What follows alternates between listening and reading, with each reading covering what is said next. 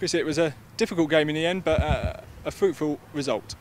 Yeah, it was a good workout on uh, a real difficult pitch. You know, it's uh, it's a newly laid 3G. It's not too old, but still, I think um, you know being here, um, it's quite a unique place and um, a fantastic setting with the rock um, sort of in the background of of the uh, of the pitch. But you know, physically, again, a good test.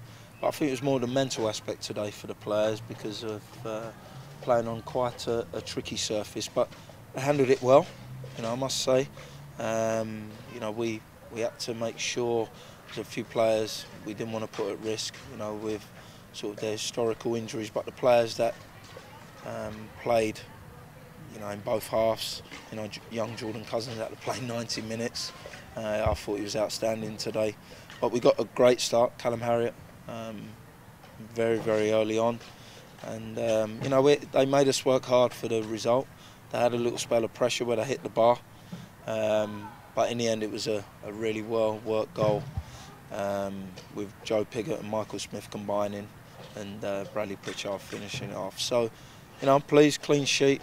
Hopefully, we're unscathed. We'll see in the morning um, because it is a surface that really tests your muscles and this early on it's uh, not great for us but you know the players have experienced playing in Gibraltar you know travelling here uh, to a place that uh, you know is quite well renowned and now they've got their, their UEFA status as well so it was a big game for them well attended you know we had a few Charlton fans and we've come away with a result so I'm pleased.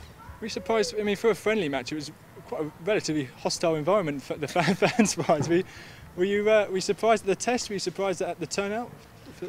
Well, it's a big game for them, you know, a big game for the.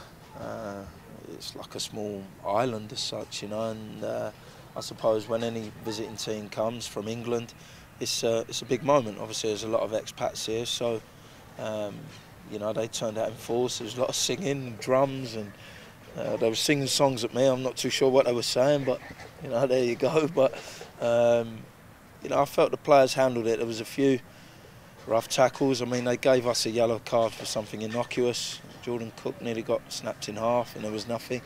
You've got to get used to this sometimes when you play away. You know, it's those sort of tests that you have in Europe. So, you know, the players were, um, I felt, were very, very calm and composed in uh, what was quite a hostile atmosphere at times.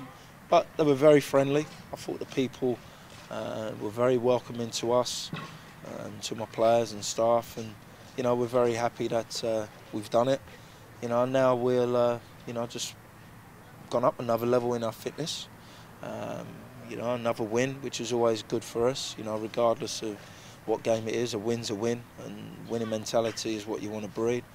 And we move on now to St Mirren uh, on Saturday. So um, very pleased with it all.